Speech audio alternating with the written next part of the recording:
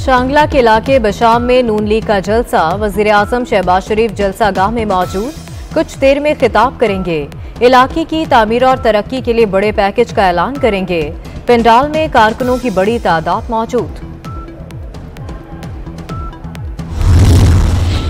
बलीकुर रहमान को गवर्नर पंजाब के लिए नामजद कर दिया गया। वज़ीर आज़म ऑफ़िस ने समरी सदर मुमलिकत को भिजवा दी।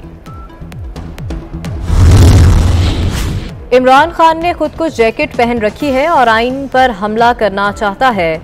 नया पाकिस्तान तो नहीं बना, पुराने पाकिस्तान का बेड़ा गर्क हो गया। इतिहादियों के साथ मिलकर मसाइल हल करेंगे। मुल्क को कायद आज़म का पाकिस्तान बनाएँगे। वज़ीर अला पंजाब, हमजा शहबाज की फैसलाबाद में गुफ्तगु। और डॉक्टर आमिर लियाकत की तीसरी बीवी दानिया शाह ने तनसीख निकाह और नान नुफ्का का दावा कर दिया।